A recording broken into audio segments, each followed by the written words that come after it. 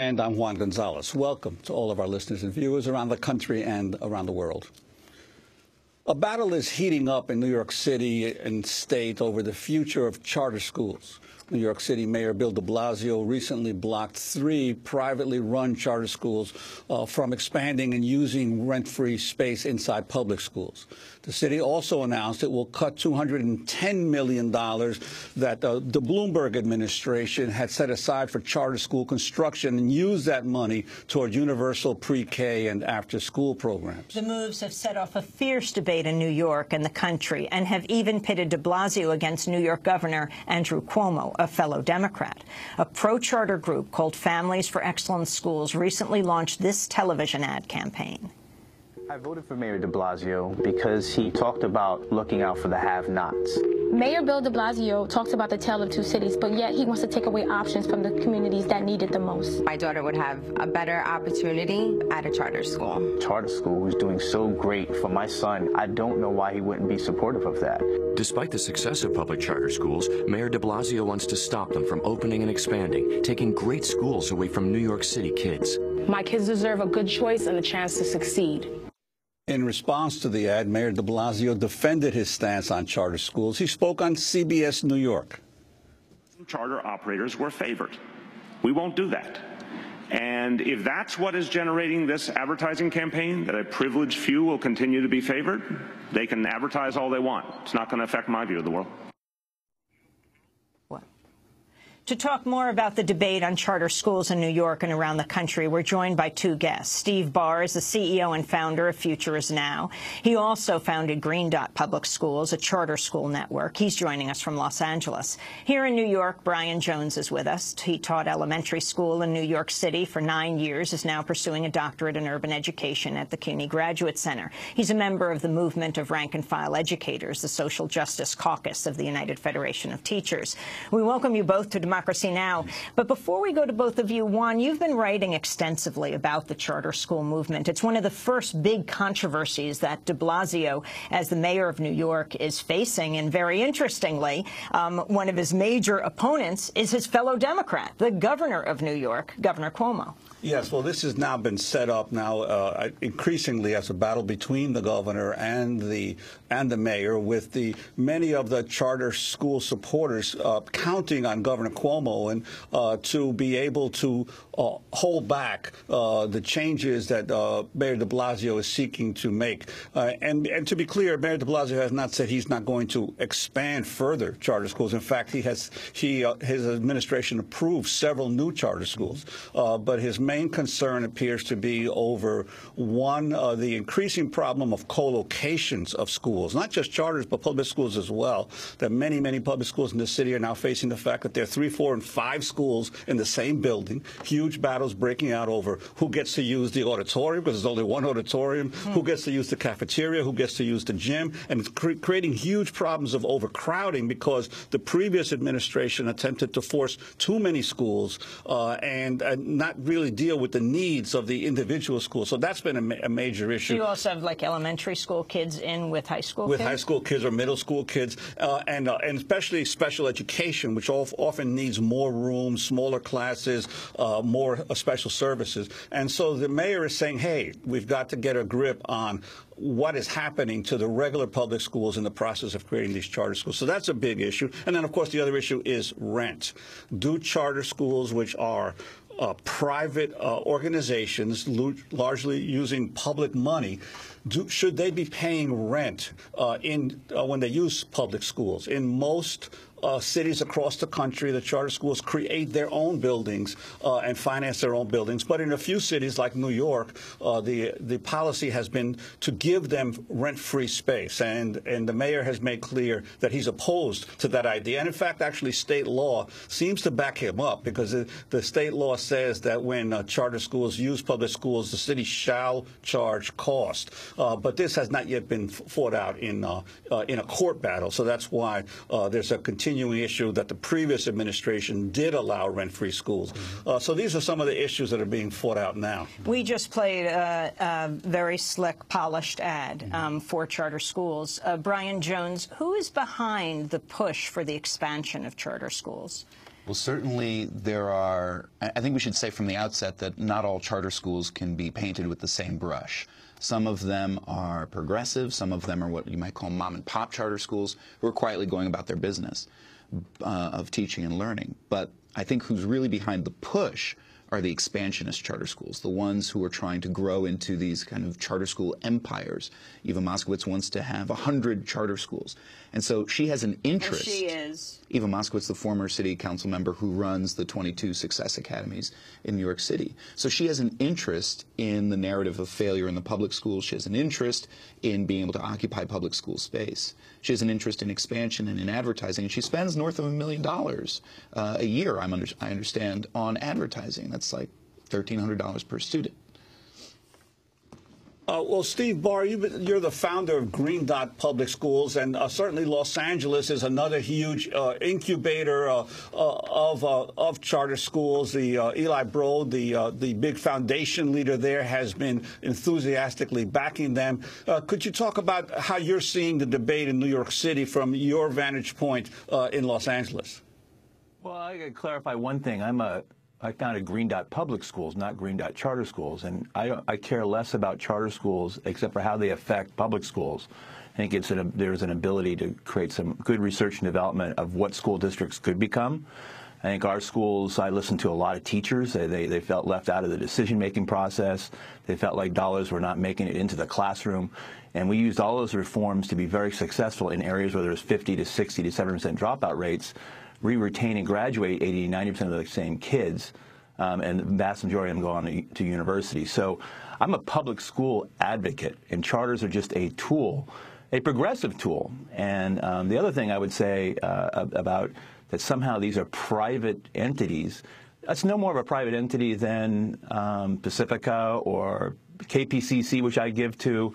They're nonprofits. The idea that somehow that this narrative that, that, that I got into this with my life savings, or a lot of people that do this work are in it to somehow make some money is ludicrous. We're in it, I think, really to change the public school system. It was stagnant for a long time. Um, there was a take it or leave it mentality. I'm a member of the left. I'm a liberal Democrat. I think we've been on the defensive for so long that you know we just got used to defending and not innovating. And and I think there's a lot of us that are Democrats that took the mantle of this tool and said, look, we can prove um, a different way of educating kids. We can push decisions close to to, um, to the stakeholders. We can empower um, um, people that have been left out of the political system. We can create ownership, and that's what you're seeing here. It's not an evil doer thing.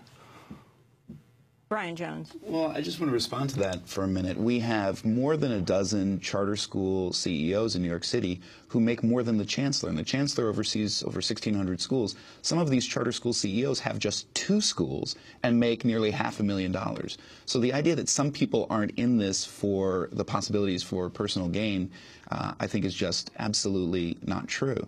The other thing is that it's important to understand the private nature of charter schools. Um, what Eva Moskowitz did, where she closed down her 22 schools for a day and provided meals and T-shirts for people and free transportation to Albany to protest, well, that's how she got 7,000 people to protest. If a public school shut itself down to attend a political rally, um, we would be we would have a serious problem on our hands. But a private organization can do that. The other, the last thing is just that you know I'm not a, an expert in Mr. Barr's schools. But there's plenty of reporting out there that even the schools that, that he has attempted to run in Los Angeles and New Orleans have run into trouble. And I, I feel again and again there's a pattern that charter school leaders hold out great promise, make huge claims and promises, and then run into the usual problems that people run into when they're trying to serve some of our neediest students. students. Solving the problems of public education are not simple and straightforward. There's no magic bullet. There's no management technique um, or, or administrative shuffle that is that are that's going to solve those problems. And I and I feel that charter schools have fallen way below their hype. Their hype is disproportionate to their actual merits. Steve Barr, uh, you are founder of Green Dot Public Schools. That's what it's called, but it is a charter school network. Could you respond to Brian Jones? Well, I need to educate Brian on some things. First of all, my schools are wall-to-wall -wall unionized schools, and in fact. Uh, I founded a school in the South Bronx called University Prep with Randi Weingarten in the UFT. Um, that school, after its fifth year, is the fourth best high school in the city of New York. I pay the teachers 22% more than their, their fellow teachers. Rent would affect that. There's a lot of ownership. People feel, um, whether the people we're serving or the people that work at that school, we push decision making uh, to that school site and empower teachers. There, I don't. So the R and D that we would be putting out to, especially as, as New York City enters into negotiations, is why does that school, why do those teachers make so much more on the public dollars um, than the other schools, and why aren't we replicating that? That that's the point. I think that's probably um, you know I'm probably probably closer to the Al Shanker wing of the charter school movement um, that proves that these things work. And, and, I think I think Brian and I probably would agree on most things about how public schools should be run. I, I can't get into tit for tat of his talking points, but I'm very proud of the fact that I, have a, I run a progressive movement here, a progressive school group within a movement. We don't all agree on everything, um, but I think we have a lot to, to share with with other public schools as well. Uh, well, I'd like to ask you about one of the things that you've raised in some of your writings that you, you don't necessarily believe that the movement toward, uh, quote, market share among some charter uh, uh school uh, operators is the, the best uh, approach. Clearly, there are some chains that are, are bent on growth, whether it's the KIPP Academy, Uncommon Schools, the for profit Victory Schools, that are really into creating a, a market share that will create a critical mass for charter schools. How, do you see that strategy versus what you're trying to do? I mean, I like to create. I mean, we're all in. I'm in the demand business, and um, you know, I'm an organizer, and so, and I'd like to organize myself out of a job. Um, my kids go to LA Unified schools here in Los Angeles. I think that public school that they go to is better than any charter school. I'd like to scale that school up. Um, just as fast as any charter school. Any school that works, we should be looking at and not trying to devise uh, talking points to knock them back, but how do you replicate it? And you know, this expansion has nothing to do with uh, you know some kind of scheme behind the uh, you know behind the curtain. It has to do with people desperate for good schools. Period. I think most of the people we serve they don't care if it's a charter school or a good public school. The parents are going to find a good school. They're desperate for good schools. And that's what we should be focused on, not the. I, I truly believe that most of us agree on about 80, 90% of this stuff. The problem is we can't get past the 10 or 20%. It goes on and on and on. Um, to fix the problem. I'm a, I'm a parent and I have to model good behavior to my kids. And part of doing that is I've got to sit down with people I normally don't disagree, I don't agree with all the time, and I've got to find common ground. It's so much easier to just sit there and throw bombs at each other instead of finding common ground here.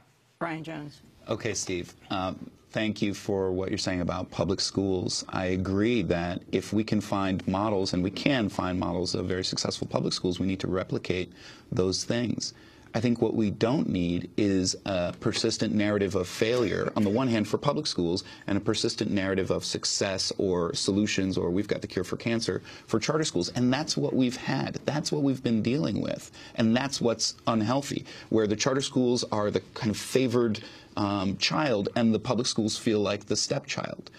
Um, I do want to say, though, that I think the thing that you were involved in, Stephen, not to throw a bomb at you, um, the parent revolution in Los Angeles is problematic and is not progressive and was part of that pushing parents towards uh, charter schools as a solution.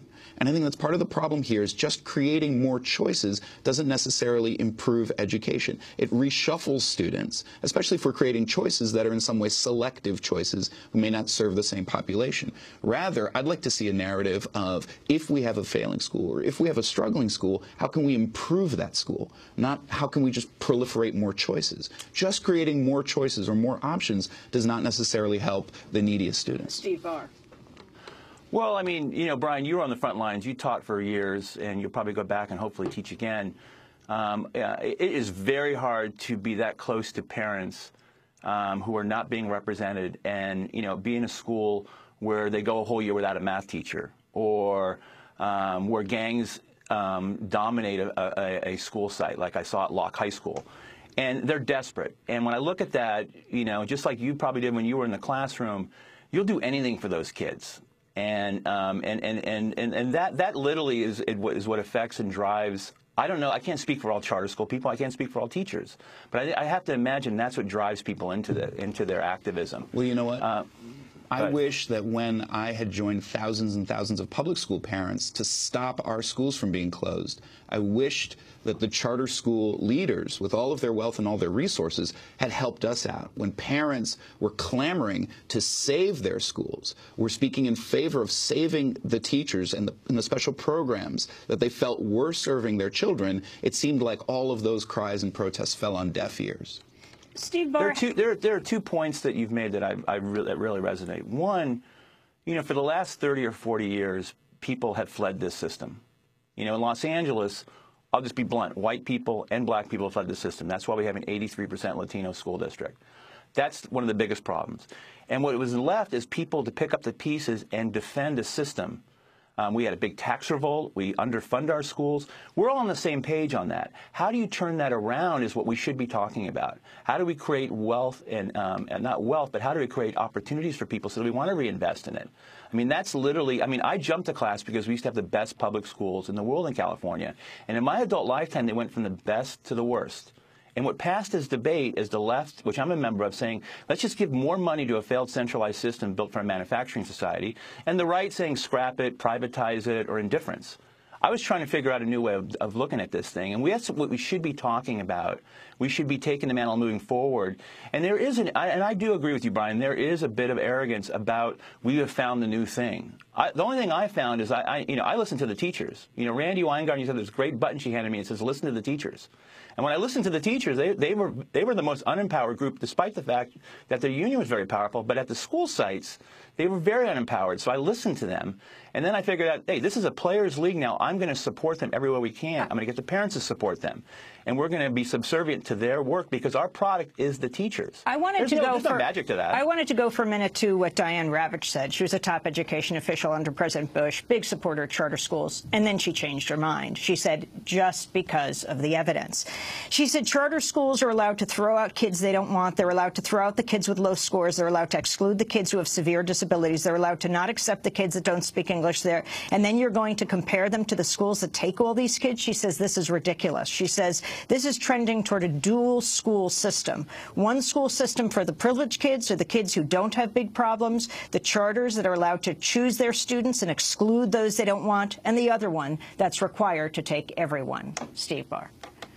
I, am not going to respond to that. It's, it's I mean, I took over with the teachers of a school in Watts called Locke High School that every year would opportunity transfer 300 kids out of the school if they had gang affiliations. That drove the that drove the community crazy. Because that was 300 families.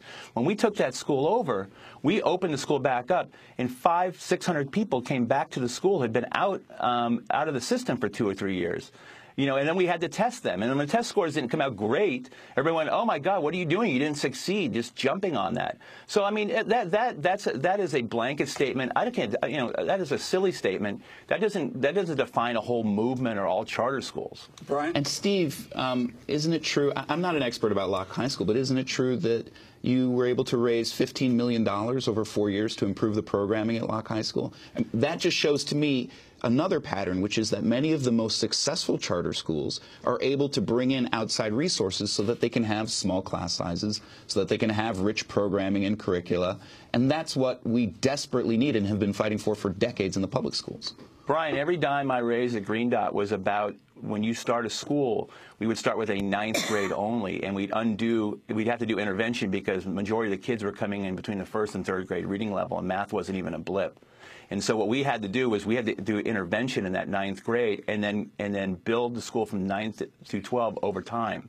And then those 10, 11, 12 graders, we had to give a ton of intervention. That's what the money went to. It's not like some big, it wasn't about class size. Our class sizes are very similar.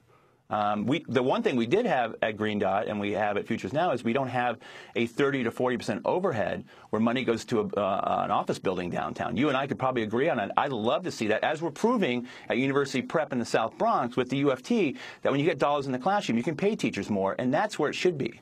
Uh, I, am not as familiar with the green dot schools, but the issue of the how to what degree the schools reflect the actual uh, population of the district. Uh, uh if you could respond to that, because I know here we have a problem. For instance, the charter schools here in New York City are overwhelmingly as much as 80% African American, whereas Latinos are the, by far the largest group, student group uh, in the public school system. And obviously, they have lotteries, but they somehow manage to have far fewer uh, uh, ELL kids, far fewer uh, uh, uh, English language learners, or far fewer special education children? Well, one, I, all I can say is I've heard this argument over the years, and in Los Angeles, this whole idea that we're getting success because we're getting some super parent, you know, some exclusive parent. The population we serve are well over 96% free and reduced. They're all new immigrants. And when you look at it, when people make that accusation, what it, what it says to me is like, you're talking about a population of folks who've just risked everything to come to our country. Just risked everything. Comfort zone's been challenged in ways I can't even I can't even imagine. Did they come for the the high end jobs or the ticker tape parades or the warm welcomes? No, they came for their kids. There's no more motivated group of people than everybody who than new immigrants. You know, I mean, so so yeah, do they do really well? And do other people like when they when they do well, do they sit there and go, "Wow, you must be doing something with some special parents"? What it does is it it really peeves the people that are at the school and the teachers who are working their tails off to prove that that you can be better when you have more decision making and dollars in a, are where they belong, and you're actually raising expectations and you're including the parents. We have 20 seconds. Uh, I mean, that's literally that's that's the game. Yeah, when I taught in second grade in East Harlem, the charter school with which we were co-located literally sent us students. I received two that year right after the tests into my classroom while there was a narrative that they were this amazing school that was solving problems and we were a problematic failing school uh, was the narrative when actually we were the school that was accepting ev everybody um, and trying to do our best with them. And because of that co-location, we lost our drama room, we lost our music room, we lost our physical therapy space. So the actual effect on a public school that has this univer universalistic aspiration uh, was devastating. We're going to have to leave it there, but we'll certainly continue the debate. I want to thank Steve Barr, founder of Green Dot Public Schools, a charter school network, and Brian Jones, uh, who taught elementary school here in New York and is now pursuing a doctorate in urban education. This is Democracy Now! When we come back, we